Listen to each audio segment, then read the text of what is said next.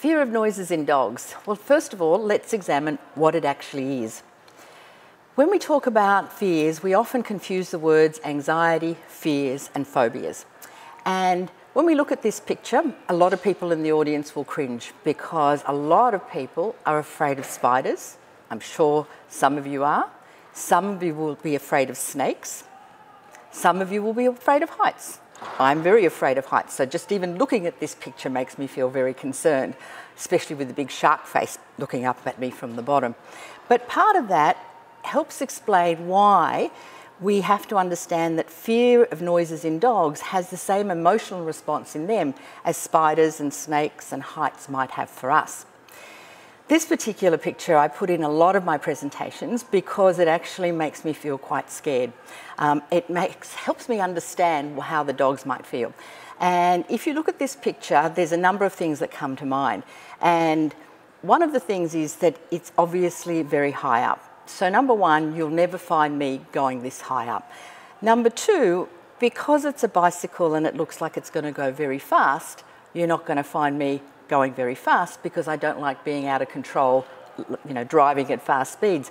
But the main reason I won't be getting on this bike is I don't actually know how to ride a bicycle. So there's three reasons that looking at this photograph actually makes me feel very, very frightened. And I think it helps us have empathy for our patients if we understand what fear actually means. So first of all, let me just go through a bit of basic stuff that will hopefully help you understand why dogs might be afraid of noises. We're going to talk about the dog's senses very briefly. So they have sight, hearing, smell, taste and touch, just like we have. And if we look at them, yep, it, on the surface it looks like they might be the same, but the way that animals actually perceive the world is very, very different. So if we look at their sight, we know that dogs are very sensitive to moving objects. They have very poor close-up vision, so they can't actually see things very close to them. They have poor binocular vision, so where we see things with two eyes, they see more out of one eye and the other and then put the picture together. Um, and they also see in colour, but not the same way as people do. They're more like red-green colourblind people. So what that tells you is they're going to be very worried about sudden movements. And think about that when we've got noises, and I'll come and elaborate on that in a little while. The canine hearing sense is thought to be at least four times more acute than human. So they're going to perceive sounds that are of a higher frequency and also sounds of ultrasound. And so, again, we're going to recognise that different noises can worry dogs. Their sense of smell is their predominant sense. It's thought to be at least a thousand times more acute than that of humans, but it might even be more than that. Sometimes it's just our machinery isn't good enough or our technology isn't good enough to see what dogs can actually detect. And therefore, different smells can worry dogs as well. Their sense of taste is dependent on how um, really, I guess, uh, depends on whether they're going to eat certain foods or not. And again, this is going to be important when we're talking about fear of noises. How they eat food, how palatable a food for them will be, first of all, its smell, then the texture, how it feels in their mouth, and then the taste. Okay? So when you think about it with dogs, sometimes you'll offer them a treat, they'll smell it, They'll put it in their mouth. If it doesn't have this texture that they're used to, if it doesn't feel right in their mouth, they're going to spit it out, even though it tastes okay. And it's not dissimilar to us, I guess, in some ways. You know, you can smell an apple, it smells really crisp, it smells really nice. You bite into it and it's got that floury texture. You don't even know what it tastes like because the texture is wrong. Dogs, we often call them lazy eaters. They like soft foods but not sticky foods. And generally, dogs eat during the day about three times. So recently when my dog was unwell, I discovered that she actually got up for midnight snacks. So dogs don't always follow the textbooks that we write. But why that's important is different tastes can worry dogs. Their sense of touch is well developed and they do feel pain. So different sensations can worry dogs. So all of these things are important when we're dealing with dogs and their behaviour, but it's even much more relevant when we're dealing with dogs with noise um, sensitivities or anxiety about noises. So let's talk about fear specifically. Fear is related to the specific behaviours of escape and avoidance. Anxiety is the result of threats that are perceived to be uncontrollable or unavoidable. often people use the terms interchangeably as fear and anxiety the same thing. They're similar but different. So one's about the immediate, one's about predicting the future. Both fear and anxiety may be adaptive in certain circumstances, but when we put the word phobia in there, if we're going to talk about noise phobias, phobias are always maladaptive. There is absolutely no evolutionary benefit to having a phobia. So let's go back to fear. Experiencing fear is a survival mechanism. That's one of the reasons that most of us don't go bungee jumping or abseiling or base jumping because it's part of keeping us alive.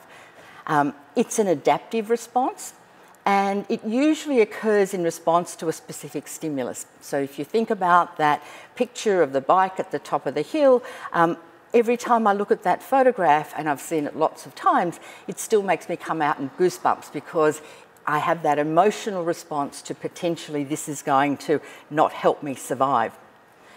The physiological signs of fear usually include things like increased heart rate, increased respiration rate, sweating, trembling, pacing, and often urination and defecation. So when you have an animal that's afraid of whatever it's afraid of, these are the different signs that you might see. The behavioural signs of fear, usually we look at changes in body posture, changes in activity level, we see avoidance behaviours because animals obviously don't want to go what, close to what they're fearful of. Me and heights, I don't go to the end of a cliff because I don't feel comfortable there. The emotional signs of fear are what we call the four Fs flight response, fight response, which most people are familiar with. Then we have the freeze response, and then we have the fiddle or fidget response. Now, freezing is something we see in animals a lot when they get frightened. Um, I guess the most common place you'd see it is in a veterinary hospital. People bring their dog in and they put the dog, and the vet puts the dog on the table to examine it, and everyone says, Wow, what a well behaved dog. He just sat there. But in fact, he's frozen. He's very, very, very worried about um, what might be going to happen to him. So when we look at these animals and we think, aren't they well behaved? They're actually frozen solid. The fidget or fiddle behaviours are better called displacement behaviours but that starts with a D and it doesn't fit with my four Fs. So I like things to make simple and easy for people to understand. And displacement behaviours are actually normal behaviours, but they're out of context. Okay? So we see things um, like yawning, lip licking, grooming, sniffing, and sometimes even sleeping. And what they indicate is the animal is in internal conflict or internal stress.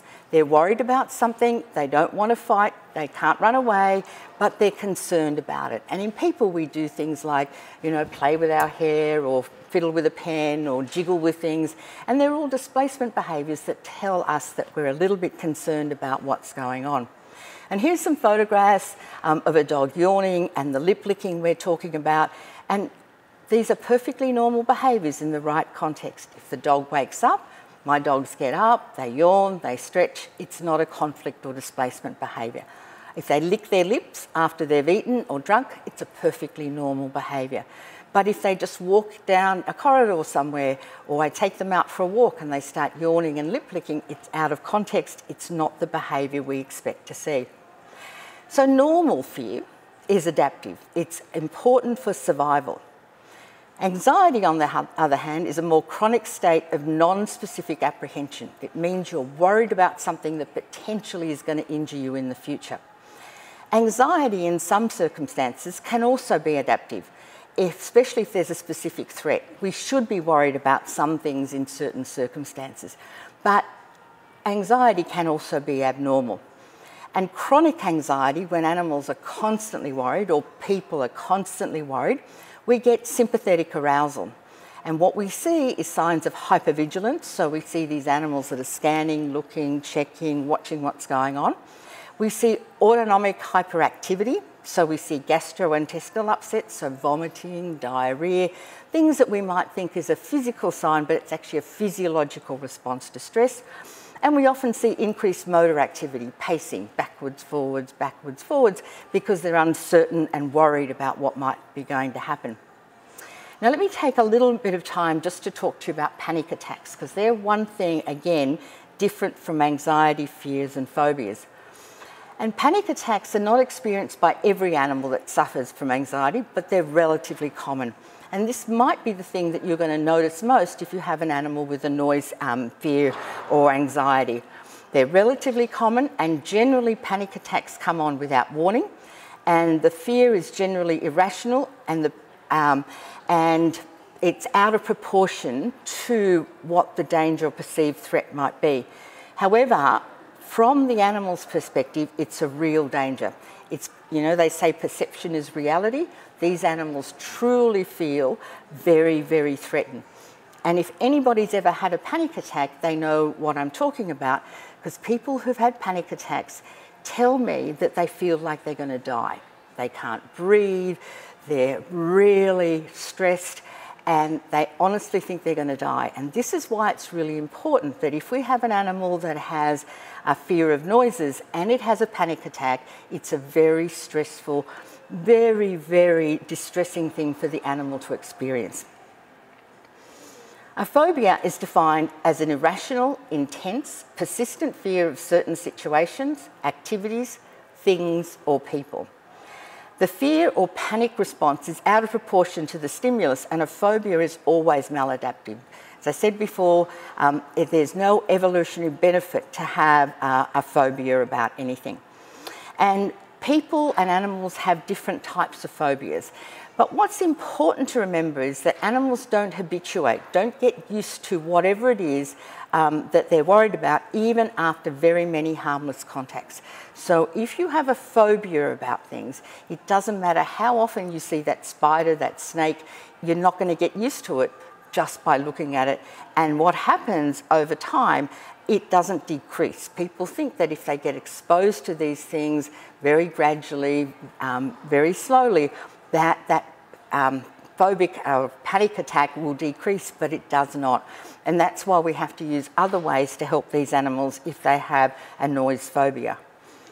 Phobias, in fact, are the most common form of anxiety disorder in people. And a study by the National Institute of Mental Health in America found that between 8.7% and 18% of Americans suffer from phobias. That's almost one in five people in America are going to have a phobia of some description.